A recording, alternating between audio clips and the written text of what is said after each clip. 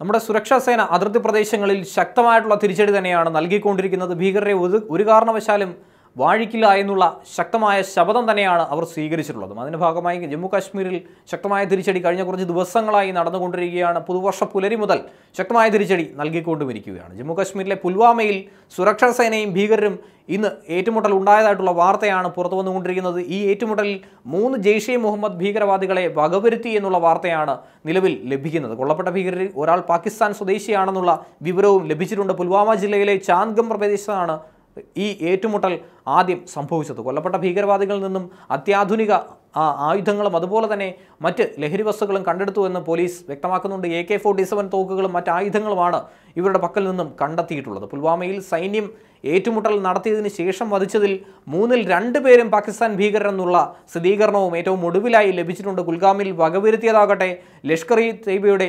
ഭീകരവാദികളാണെന്നും ജമ്മു കാശ്മീരിലെ I G Vijaykumar ഇപ്പോൾ മാധ്യമങ്ങളോട് തുറന്നു പറഞ്ഞിരിക്കുകയാണ്. ജെയ്ഷെ മുഹമ്മദിന്റെ ഭാഗമായിട്ടുള്ള മൂന്ന് പേരെയും ലഷ്കറിന്റെ രണ്ട് ഭീകരരെയുമാണ് സൈന്യം ഇന്ന് രണ്ടിടത്തെ വ്യത്യസ്ത ഏറ്റുമുട്ടലിലായി വകവരുത്തിയിട്ടുള്ളത്. ഇത്തരത്തിൽ ശക്തമായിട്ടുള്ള തിരിച്ചടി പല കോണുകളിൽ നിന്നും നമ്മുടെ സൈന്യം നൽകിക്കൊണ്ടിരിക്കുകയാണ്. കുൽഗാമിലെ ഓക്കെ മേഖലയിൽ ലഷ്കറുമായി അടുത്ത് പ്രവർത്തിക്കുന്ന ടി ആർ എഫിന്റെ നീക്കങ്ങൾ ഗ്രാമവാസികൾ തന്നെയാണ് പോലീസിനെ രഹസ്യമായി അറിയിച്ചിട്ടുണ്ടായിരുന്നത്. കൃത്യമായ സൂചനകളുടെ അടിസ്ഥാനത്തിലാണ് ഇവ ലഭിച്ചതിന്റെ ആധാരത്തിലാണ് സൈന്യവും പോലീസും സംയുക്തമായി ഇവിടെ ഒരു ഓപ്പറേഷൻ നടത്തിയതെന്നും അറിയാൻ കഴിഞ്ഞിട്ടുണ്ട്. പോരാട്ടത്തിനായി രണ്ടുപേരെ വധിക്കാനും സാധിച്ചിട്ടുണ്ട്. പുൽവാമയിൽ ഇന്ന് പുലർച്ചെയായിരുന്നു ജെയ്ഷെ മുഹമ്മദിന്റെ ഈ നീക്കം ശ്രദ്ധയിൽപ്പെട്ടതും. പോരാട്ടത്തിൽ വധിച്ച ഇവരിൽ നിന്നും നിരവധി ആയുധങ്ങളും സ്ഫോടക വസ്തുക്കളും വാർത്താവിനിമയ സംവിധാനങ്ങളും ഒക്കെ പിടിച്ചെടുത്തതായും പോലീസ് വ്യക്തമാക്കുന്നുണ്ട്. ഒരു എ കെ ഫോർട്ടി സെവൻ റൈഫിളും രണ്ട് എം ഫോർ റൈഫിളുമാണ് ഇവരിൽ നിന്നും കണ്ടെത്തിയിട്ടുള്ളത്. ജമ്മു കാശ്മീരിൽ സാധാരണ ജനങ്ങൾ ഭീകരതയെ വെറുത്തുകൊണ്ടാണ് ഇപ്പോൾ ജീവിക്കുന്നത്. കാരണം അവർക്കിപ്പോൾ ധൈര്യം ലഭിച്ചിരിക്കുകയാണ്. അതുകൊണ്ടാണ് അവർ ഇത്തരത്തിലുള്ള വിവരങ്ങൾ പോലീസിനോടും അതുപോലെ സൈന്യത്തിനോടും വെളിപ്പെടുത്താനായി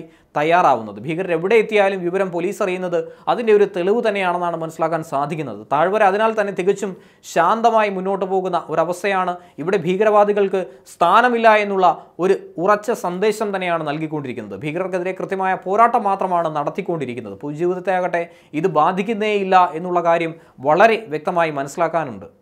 ദുരുവിലുണ്ടായിട്ടുള്ള ഏറ്റുമുട്ടലിൽ ഒരു പോലീസുകാരന് പരിക്കേറ്റതാണ് വളരെ വേദനാജനകമായ മറ്റൊരു കാര്യം. വൈകിട്ടോടെയായിരുന്നു ഈ ഏറ്റുമുട്ടൽ ആരംഭിച്ചതും. രഹസ്യവിവരത്തിന്റെ അടിസ്ഥാനത്തിൽ ഈ സ്ഥലം പരിശോധിക്കാനായി എത്തിയ സുരക്ഷാ സേനയ്ക്ക് നേരെ പെട്ടെന്ന് ഭീകരരുടെ ഒരു വെടിയുതിർക്കലായിരുന്നു ഉണ്ടായിരുന്നത്. തിരിച്ച് പ്രത്യാക്രമണം നടത്തിയെങ്കിൽ പോലും നമ്മുടെ ഒരു പോലീസ് ഉദ്യോഗസ്ഥന് ചെറിയ പരിക്കുകൾ സംഭവിച്ചിട്ടുണ്ട്. പുതുവർഷത്തിന്റെ ആദ്യ അഞ്ച് ദിവസത്തിനുള്ളിൽ ജമ്മു കാശ്മീരിലുണ്ടായ അഞ്ചാമത്തെ ഏറ്റുമുട്ടൽ കൂടിയാണ് ഇത്. നേരത്തെ നടന്ന ഏറ്റുമുട്ടലിലായി സുരക്ഷാ സേന ഏകദേശം അഞ്ചോളം ഭീകരരെയായിരുന്നു വകവരുത്തിയിരുന്നത്.